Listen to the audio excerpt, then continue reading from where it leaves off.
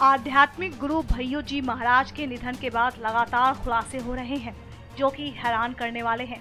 Madhya Pradesh police इस मामले पर एक के बाद एक सनसनीखेज खुलासे कर रही है। तो वहीं अब भैयो जी की बेटी कुहू और दूसरी पत्नी आयुषी के भी बयान सामने आने लगे हैं।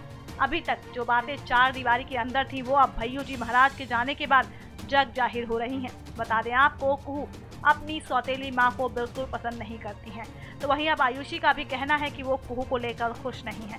वैसे दोनों के बीच खटास उस वक्त ज़ाहिर हो गई थी, जब भैयू जी की अंतिम यात्रा में बेटी कुहू और आयुषी एक दूसरे से अलग थी। भले ही दोनों इस दौरान एक साथ नज़र आ रही हों, मगर फिर भी दोनों के बीच की नफरत साफ़ बयां हो रही थी। दोनों की आँखें भले ही भैयू जी के जाने से नम हो, मगर एक दूसरे के लिए उनकी आँखों में नफरत भरी थी। दोनों की आँखें साफ़ बयां कर रही थी कि अब दोनों के बीच ज़रूर ज़बरदस्त दंगल होने वाला है और अब उसके आसार धीरे धीरे नज़र भी आ रहे हैं। S P N nine newsroom की रिपोर्ट।